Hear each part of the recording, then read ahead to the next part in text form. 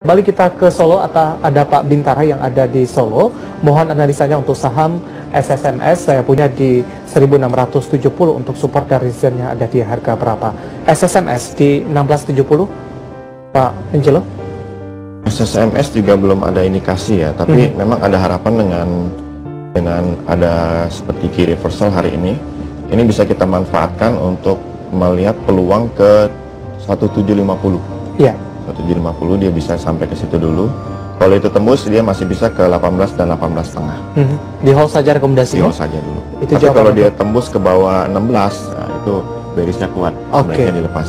Itu jawaban untuk Pak Bintara di Solo SSMS punya di 1670. Kita beralih ke SMS selanjutnya.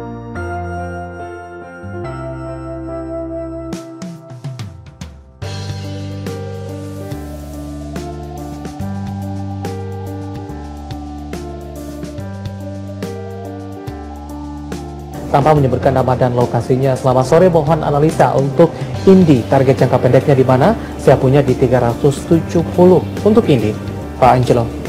Indi di 370, wow, profitnya udah luar biasa ini. Mm -hmm. Tapi dia masih punya peluang untuk naik sampai ke 640, 650 ya.